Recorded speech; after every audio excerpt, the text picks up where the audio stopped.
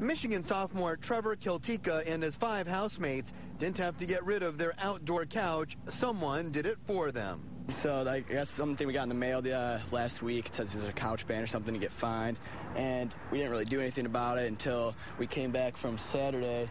And after the game, our couch is just on the side of our house. None of us moved it. We don't know who did and it's still a mystery to us. He would have had to remove it anyway. A new city ordinance in Ann Arbor makes it illegal to have couches and other upholstered furniture on porches. And some students worry it'll change the atmosphere of off-campus living. It kind of does make a difference. Like when it was warm out, I know it's winter right now, but when it was warm out, we sat on there. We always just hung out on the porch, barbecue, just had a good time. And now I just have to put chairs up there or something. It's not as good. I had one couch that was right here, and then one right here. So we can sit down, put our feet up, hang out, watch the people walking by. Brent Keeley and his housemates on Benjamin Street have already taken care of their outdoor couches. While he knows it won't really be the same, they're not putting up a fight. We did use our couches every probably every weekend to just kind of hang out and relax on.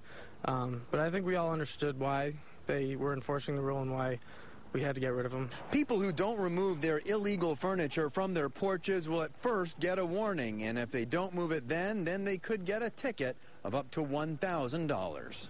There are still questions about what's allowed.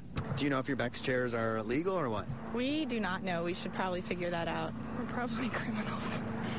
They could be. I, I, I don't know. I feel like they're not. They're not a. I mean, is that upholstered? Does that count as upholstered if there's no cushion inside? So still question. Questionable is we what it is. know. It's questionable. The new law went into effect about a month ago, but city officials say citations will start being handed out today.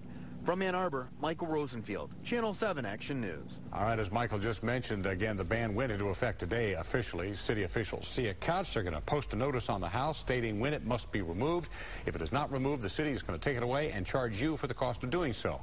And the homeowner could be issued a civil infraction ticket that can cost up to $1,000. Diana?